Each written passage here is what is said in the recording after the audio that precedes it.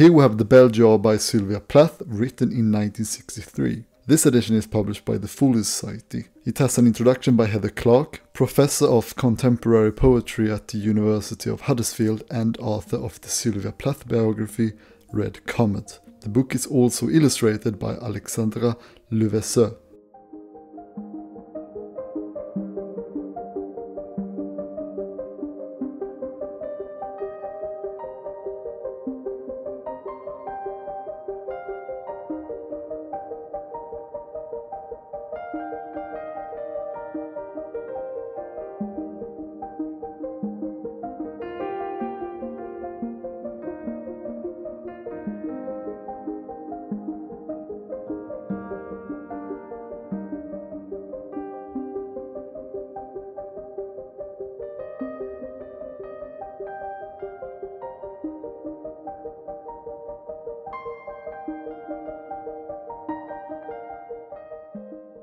The book is bound in block cloth and comes with a blocked standard slipcase.